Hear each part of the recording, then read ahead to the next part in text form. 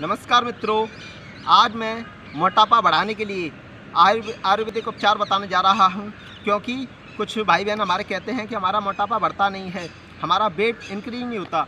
तो क्या करें हम? आयुर्वेद में कुछ ऐसी रामबाण औषधि हैं, जिनका यदि हम सेवन करते हैं तो हमारा वेट नॉर्मल हो जाता है। अगर अंडर वेट है तो नॉर्मल होगा, निश्चित। तो क्या करना है?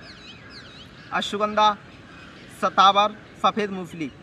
इन तीनों में से जो भी हमें उपयोग लगे, उसका सेवन करें। और अगर एक भी आप उपयोग करेंगे अश्वगंधा का चूड़ या सतावर का तो वो हमारे मोटापे को काफ़ी तेज़ी से बढ़ाता है। जो अंडर वेट है, उनका वेट नॉर्मल हो जाता है। तो कैसे इनका सेवन करना है? आप एक चम्मच इनका पाउडर ले लें, चाहे तो अश्वगंधा का या सतावर का या सफ़ेद मूसली का।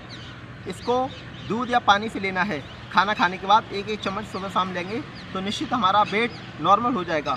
और दूसरा उपाय बताता हूँ।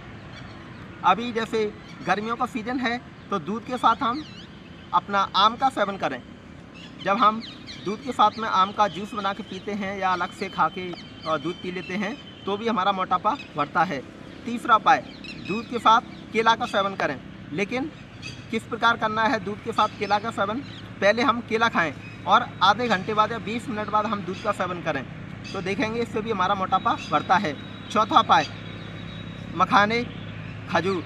ये दो चीज़ ऐसी हैं जिनको हम दूध में उबाल के यदि सेवन करते हैं तो भी हमारा मोटापा बढ़ता है। तो जो अंडरवेट हैं, वो इन चीज़ों का सेवन करें। निश्चित हमारा वेट नॉर्मल होगा और हमारी पाचन क्रिया अच्छी होगी।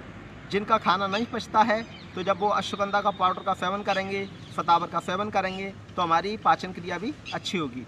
तो आज मैंने मोटापा बढ़ाने के लिए ये, योगाभ्यास भी आपको बताने वाला था, लेकिन वीडियो लंबी हो जाएगी तो आप मेरे योगा के जो अभ्यास हैं, उनको मेरे यूट्यूब चैनल पर देख सकते हैं योगाचार अर्जुन राणा के नाम से। तो वहाँ मोटापे के लिए आपको वीडियो मिलेगी। सभी का बहुत बहुत धन्यवाद, आभार, नमस्ते।